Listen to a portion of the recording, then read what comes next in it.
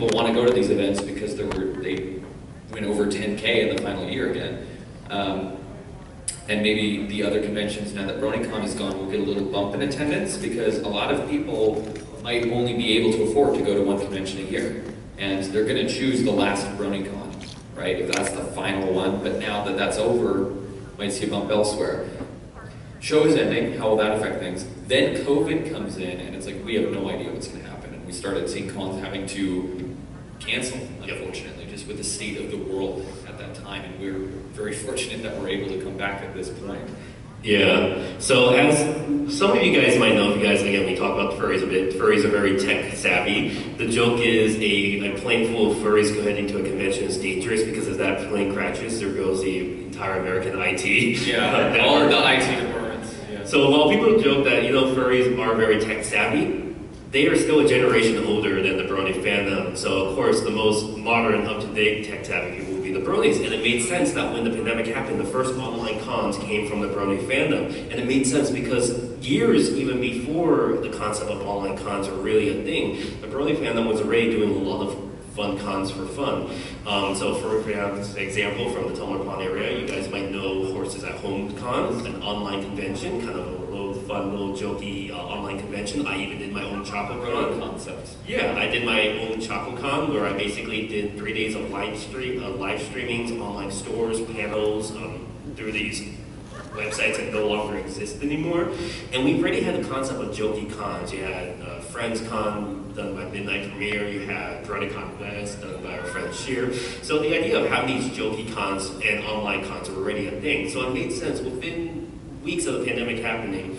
Uh, one of my friends, uh, artist named Ruth, she basically created a Discord group um, to help a lot of displaced dealers, and we basically made a virtual dealers hall on Discord. From there, uh, one of our friends, Catherine, picked up the idea and basically decided, okay, not just the dealers hall, let's also have these live stream panels and events. And we got Ponyville. Yeah, Catherine was heavily involved, but also Dex. Dex as well, our friend Dex. Dex is kind of the one who coordinated everything from the beginning.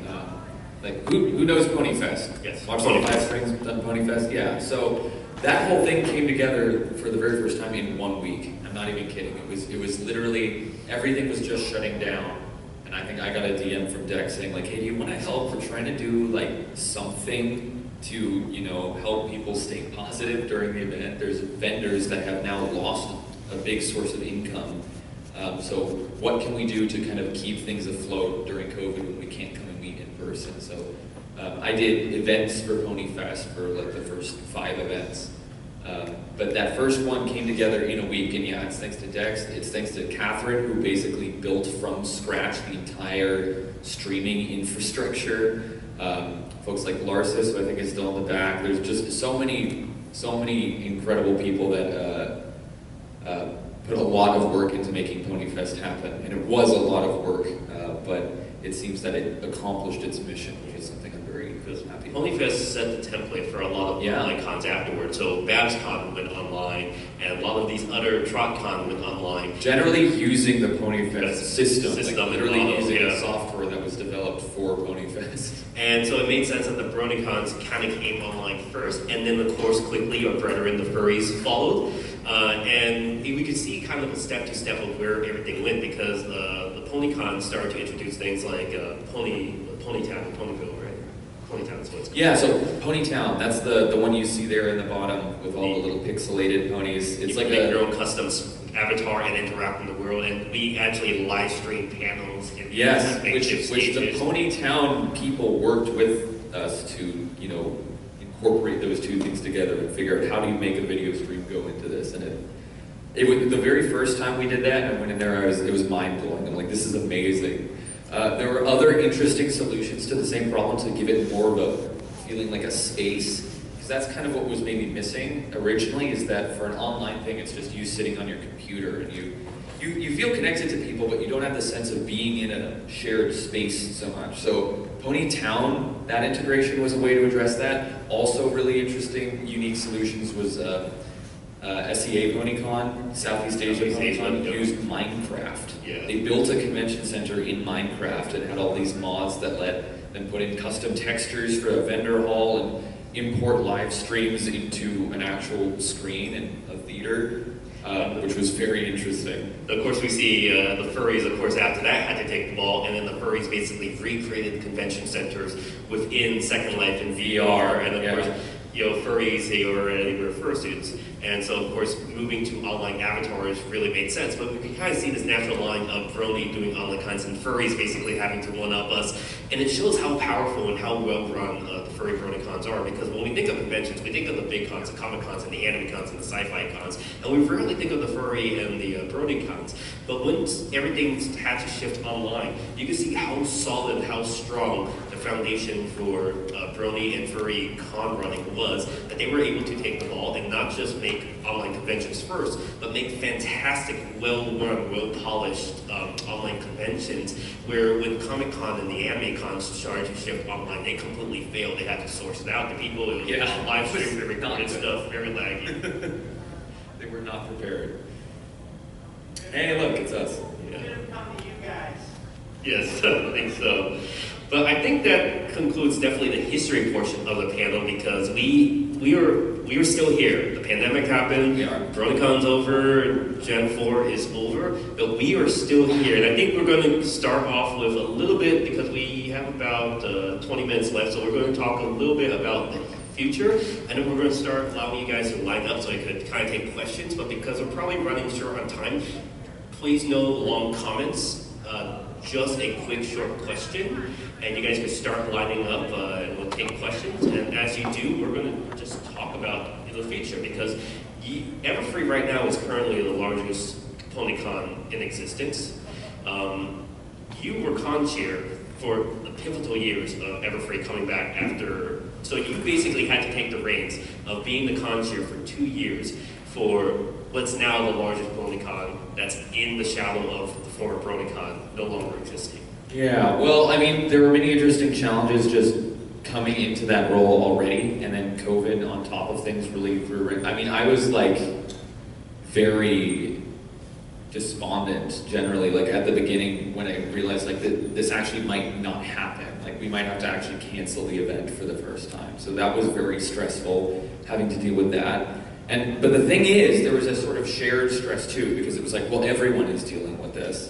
Uh, people are getting furloughed. Um, regular events are closing. You can't go to the grocery store anymore, right? There were all these different things happening, but on that angle, there was a huge uncertainty. Like when we do come back, will the interest still be there? Will not having this stuff for a year be enough to like kill the momentum that we still had coming off of the final BronyCon? Because again, BronyCon ending felt like it, it reinvigorated things to a certain degree because it suddenly it, there's this massive, massive, massive event that shows you yes, there is still all this energy in the fandom. Then COVID happens and it's like all that momentum that we were hoping would carry forward, who knows where that's going to go, you know? And it's it's still, I mean, projecting. If COVID hadn't happened, projecting our attendance in 2020, it would have been considerably higher. It probably would have been a record year. Um, so coming back from COVID is is very interesting, but it's been a, a, a very interesting And experience. still, the attendance for Everfree is impressive. Um, if we think about, again, furries like to say they're larger conventions, and that, at moment, furry cons are still larger than pony cons on average. But Everfree here in the Pacific Northwest still dwarfs a lot of these uh, local, smaller uh, furry conventions. So it's just impressive how strong, even with the numbers dip, Everfree was still able to gain such a sizable audience. And one thing that we can credit there is, is that, and this is true before COVID as well, um, Everfree has always had a very high priority goal of being a 100% family-friendly event. And kind of in that middle, middling period, like 2015 to 2018, when generally a lot of the pony cons were seeing a decline in attendance, Everfree actually either sort of kept growing a little bit and then plateaued and then didn't see as much shrink as a lot of the other pony conventions. And we credit that heavily to uh, families with kids, essentially. We've been able to uh, do our marketing in such a way to let the local community know, uh, local families that want to come in and, and just have a fun weekend with their kids. Um, and so that's always been a high priority for us and will continue to be so. We've had comments like uh, from parents saying that their kid, if given the choice, would choose Everfree over Disney World. Yes. So that that kind of comment is I, again, I, I've been doing the con history for many years, and I, I don't want to pick favorites or biases with like these different conventions I cover, but specifically the Brony fandom itself, I, I, I find it so because I think there's a stereotype that Bronies or older fans are pushing out kids uh, in the in a show that's specifically meant for them. But you look at any con, that's that's really false because not just Everfree, but BabsCon and all these other pony conventions have specific areas just for kids paneling tracks just for kids, arts and crafts. And you see how well integrated uh, these, these, younger fans are with um, even the older audiences and how great vendors and cosplayers interact with kids. And it's weird because when we look at like the anime or the furry communities, for example, there's a there's an idea where okay, you have the more adult side, the LGBT queer side, and then that does not mesh with the family-friendly nature. But we look at the cons. We have open expression of inclusivity, of queerness. We have, like I said, all these con chairs and founders are in this, and we can still introduce these inclusivities with a younger audience. And I think it's great, and it kind of defeats this myth that, no, these can't melt. The Brony fandom is doing it perfectly well together. And I don't know why my panel went off, but... Well, we're bringing the screen. All right. But on that note, maybe we. Yeah, let's with some let's, let's let's let's take some questions. You guys have been great. Uh, start lining up if you have any questions for us. Um, try to keep it short. We have about 50 minutes left. Um, but yeah, we, we appreciate you guys sticking through our ramblings. Yes, thank you very much for coming. Yeah, hello. Uh, I was curious, you talked about the um, clamp down on the Harry Potter cons. How do you feel that affected um, the art and the community side of it? Because for me, I really view it as in the pony sense, all of this is intertwined and they help regenerate each other. The cons help regenerate our Oh, and so forth.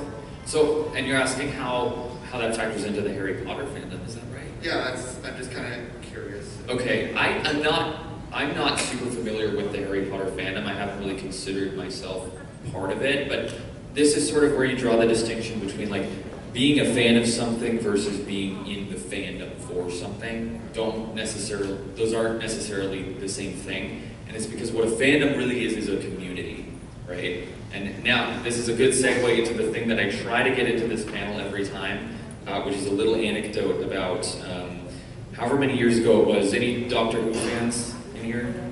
Good. Uh, however many years it it was ago that Peter Capaldi took over, I was watching the BBC um, the sort of premiere thing when they were announcing him as the next Doctor. Yeah, and and uh, I remember very specifically something he said, which uh, you know, just to paraphrase, was that um, it's the fans that made Doctor Who. It's it's it's we made Doctor Who. Everyone made Doctor Who. We all made Doctor Who. And really, the spirit of what he was saying that really stuck with me, and it still sticks with me, because in essence, what he's pointing to is the fact that media when it's able to engage with an audience such that the audience feels not only like it, it's that it's not a one-way road it's not that you're simply consuming something but that you're reciprocating you're creating something new you're giving back to it. That i feel is the really defining thing about fandom. It's about community built around reciprocating creativity. It's about a community that comes together um, so i don't know much about the harry potter fandom I, I'm sure to a certain degree, um, they probably have had, you know, that similar sense of community. But with conventions kind of going away, it means that a lot of it has to stay kind of online. And we're lucky to live in an era where the internet is there and allows fans to connect in that ways. But I imagine it probably. I mean, would you say that without pony cons, if they just all went away, you, would you think that the fandom here would just? I, I, I, I do definitely think it's different because, like I was saying, I was, I'm also tracking Doctor Who cons and Harry Potter cons. Harry Potter cons right now, if you guys, again, I'm, I'm not a fan of Harry Potter at all. If you guys been to my past panels, I've been critical of her sloppy writing and world building. But that same argument is going on with the, with her fandom right now because she has come out as a TERF recently. So the fandom would normally would debate these type of things at convention panels. But now that is congregated online, specifically within the Twitterverse and all this stuff, you can see very big factions of the Harry Potter fandom splitting and doing these civil wars. And there is less development of new creative aspects. Like even now, we can see creative like brony music videos and fan fiction and fan art that's being displayed and presented at conventions. You have people like Fiora and Saberspark coming to conventions, releasing new videos, updates, and stuff. And you really don't get that now when Harry Potter is kind of gone or the, the, the convention scene is gone. SpongeBob scene doesn't really have Harry Potter, so it has to be all done online, which addresses, which includes a very different audience than I would say in-person conventions do. Yeah. Does that hopefully answer? Yeah, yeah, thank you. Great. Thanks for the question. Next question. Thank you. Thanks for buying one of my shirts, I see. Yeah, um, as someone who is very new to the fandom, like I only started interacting with people in last March. What is uh, like some sort of media or like creator that I should go out and look for, whether it be like fan fictions, music, and artists and stuff like that? Um, that's a really good question. I you could ask you could ask anyone here and get a million different answers on that Very. for sure. Yeah, Bronies React is a big thing. I Um, guess the old school stuff, I really like Friendship is Witchcraft. It's Oh, yeah. classic, but a lot of memes So good. Friendship is Witchcraft, a lot of great music from um, if you like fan fiction, kind of the biggest fan fiction is actually a crossover with Fallout. It's called Fallout Equestria. So I don't know if you're into that at all, but I know that's a big thing that a lot of people like to talk about. It seems to have its own kind of sub fandom just around that universe. Um, yeah, I, I mean, Milo Dashi's another big one. I looked at Ashley. It's That's a little darker. Yeah, maybe not that one. um, Just look at, I I would say, look at the eight early day, the heyday, the, the, the art that got basically these conventions started, like the Peronia Bridge series, uh, Friendship is Witchcraft. Even uh, HotDiggedyDemon's a little bit controversial now, but his Apple Dot Move was that was very influential too. influence of a lot of these early memes and stuff. But Was that the first? Pixel Kitties is an artist I would also look at.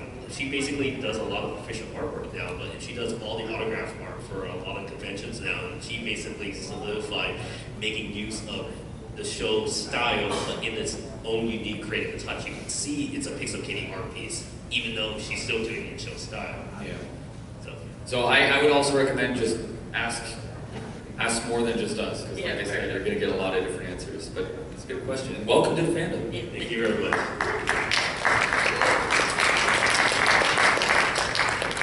Hi. Um, so say kind of My Little Pony Gen 5 has like a Star Trek Nemesis moment and there's like five years without any official content. What do you think that would do to the fandom? That's a good. That's actually what I was going to bring up before we start doing the Q and A's because we've done this panel for a few years now, Yes. and we always paid the end panel.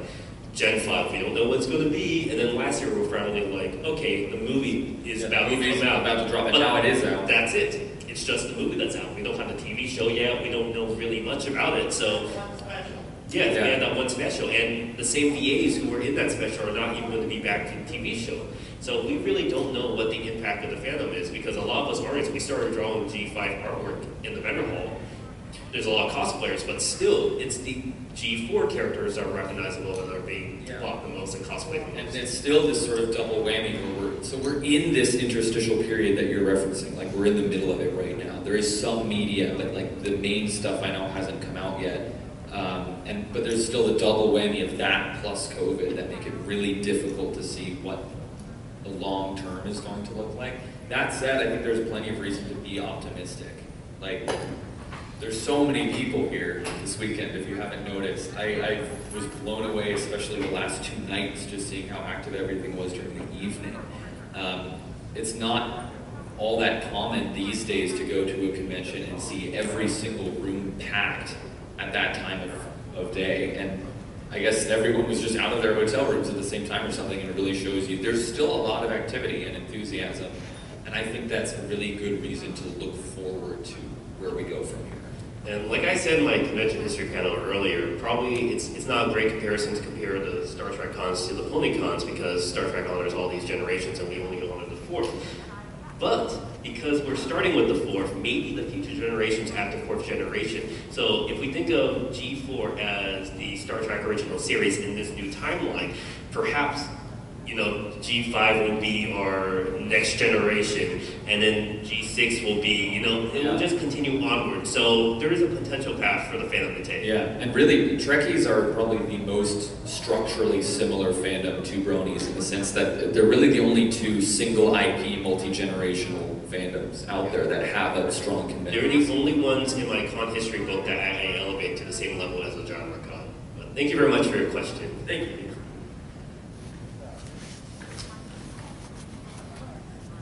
Hey, Hi. so um, I'm from the East Coast, and I know a lot of us over there were pretty sad to see BronyCon leave, just as, you know, now there, it feels like there's no local con on the East Coast for a lot of us. Mm. But um, what do you think is the possibility or the difficulties of a new BronyCon uh, showing up in this in these years?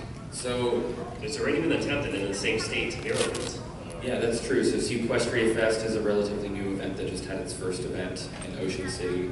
Um, but I mean, to speak more generally, whenever people ask about starting a con, my advice is usually first, don't. Um, and that's because it's it takes a lot of work, and if you if you don't go into it at least probably with a little bit of experience in understanding how these events run, it can cause problems like we've seen with Unicon or DashCon or other examples of that kind of thing. Um, I is your question about like how, restate your question just so I understand. Um,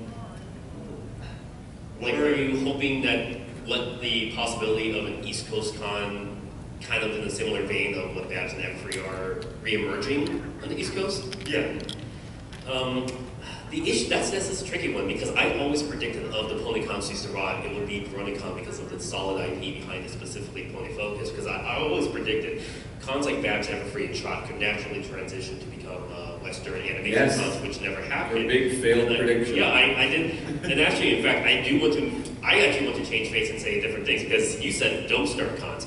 The very same people who I would criticize for, you know, founding a lot of these cons with no experience have created some of the best cons out there. So I'm actually going to change my opinion and say, yeah, don't start cons, but that doesn't mean if you have no experience, you're not going to make something fantastic. Because a lot of people who started these cons were just fresh out of high school, had no experience, probably never even ran a chess club before, and look at all the fantastic cons that they created and are now being hired by professional industry people. I would say don't unless you're ready for Yes. a whole lot of work and you have a really good network of support from other people who have some experience. Because even things like Everfree, it was a lot of people who were new to it, but we did have quite a bit of support from established conventions in the area. I think, and I think the issue for the East Coast is a lot of the people who are running the Baltimore Con live in the Mid Atlantic. They all moved out here to Seattle now, so that's why Everfree is so strong because it basically took a lot of the staff. For example, I live right now in Orlando, and I've been playing around with the idea maybe there should be a BronyCon in Orlando, but there's no solid base there. I would have to fly everyone out, and it's just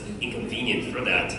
So I don't know unless it's. I think it has to organically form from at least a meetup at this point. But because the original meetup group that was supposed to be doing the Mid Atlantic cons were the group that did uh, Maryland DC Bronies who did Cloudsville Congress. But once BronyCon moved there, it completely overshadowed them, and they were out of the picture. So now that that group is no longer really as active, I'm not sure what the possibility is. Maybe in the future, but I think the most accurate thing now is like the old sci-fi cons when a bunch of different genres and fandoms met up. The Pony Cons on the East Coast are essentially the anime and comic cons that have that one meetup or that one panel specifically for Bronies, and I think that's where we'll stay in the future until maybe G5 rates their thing. Yeah. All right, Thank you very much. Thanks. And so uh, there's something I've kind of noticed, particularly in the last couple of years. I was wondering what your thoughts are, and if it's something you've noticed as well, which is, I mean, I'm, I've been in the fandom since early 2012, so I'm kind of an older brony, but I've noticed there's almost this new generation of people who were like the target demographic when this show was airing, and they're now like, it makes me feel really old to say, but they're now yeah. adults, and there seems to be online a lot of like, of like Friday Night Funkin' and stuff. All this focus on, you know, a lot of the classic fandom memes and things that people were nostalgic for. And uh, I guess just what your thoughts are on that kind of nostalgic feel. Yeah, a lot of old memes being like brony memes even being resurrected through TikTok and stuff. Yeah. Like, but I, I love that point you're saying about there's now people that come to these events as fully fledged members of the fan community who were in the target demographic. Who, yeah, like literally, think about it. This convention is 10 years old. The show is like what 12. Yeah. So 12 years ago, there were there were children, small children in that demographic who are now adults and are and and it's some of them are even married and have their own kids now. That's how crazy. Uh, that's how long the fandom has been. weird. A seven-year-old in 2010 is an adult.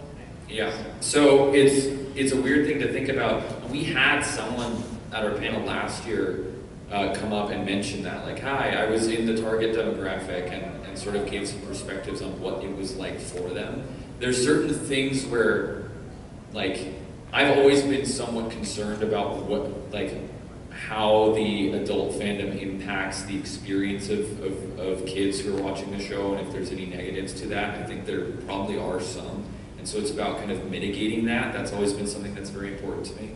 But um, I think it is an interesting phenomenon to see that, like, yes, there are kids that grew up and then realized, oh, there's a whole community around this. And they had a sort of very uniquely immersive experience in that sense, maybe. Yeah. Thank you. Awesome, thank you. Hi, Ben. Hi, first, this is your, uh, like, two minute. Yeah. Um, and second, what are your thoughts on the evolution of con mascots over the year, and why is Marina the best one?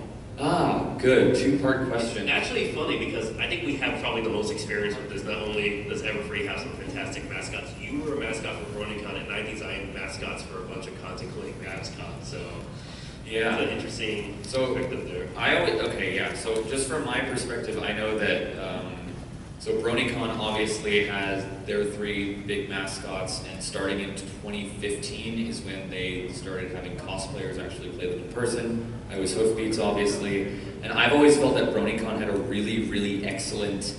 Um, just what they did with the mascots in terms of engaging with the people at BronyCon was really, really special. That was probably one of the most rewarding things I've gotten to do in this fandom was you know play the role of Hoofbeats and just interact with people because um, there would be so many people that would take me aside and like tell me their life story or tell me how the fandom saved them or brought them out of a really dark place. Uh, and they would thank me personally for it, which I'm like, I, I, I'm just here for the character. You were a mascot. no, but it shows that mascots are a way that help people relate and connect more with conventions than maybe otherwise they might be able to. And that's also why I'm, I'm glad that like we've been able to kind of shift more into that BronyCon model of doing things, especially this year with our mascots. We've got some really great people uh, involved in helping with that this year. And I, I am on the same page as you. I do. I am on Team Marina. So Uh, I, I, I do also I mean, give a shout out for really- Babs because I think Babs really actually was the pioneers of some of this. Now, in retrospect, there's a lot of controversies because I think Babs overworked a lot of the uh, their uh, in-person cosplayers and mascots, but they were really interactive. Babs would do skits. They would even basically break into panel rooms and interact with the panelists for a lot of this stuff. Have you ever been to Babs? Uh, maybe in retrospect, that's a little awkward, but they were fun little opening and closing ceremony skits. And for me personally, I, I was actually happy because one of the mascots I designed was Silver Span from BabsCon. And I originally knew they were a trans character when I designed them, but back then it would have not been as open to accepting a trans character. So finally, years later, I was able to say Silver Span was actually a trans character, and I was happy with the reception. The fandom actually embraced it instead of actually calling it out. So it shows how I think very progressive the fandom has been with just mascots and how creative we've been. The color coding with the BabsCon and the uh, mascots, the uh, different unique takes, like Marina being a an orca Yeah. only is fantastic. I, There's so I think stuff. just a quick ane- anecdote. I know you've probably heard this many times already, but when when Marina was being designed, uh, the people designing them were like, we want to find some sort of local like fish or something that lives in Puget Sound. And the way Bunny described it was like, yeah. So we tried doing that. We looked up a bunch of Puget Sound fish, but the problem is they were all really really ugly. So, so we're like, why don't we do an orca instead? Tell us the truth.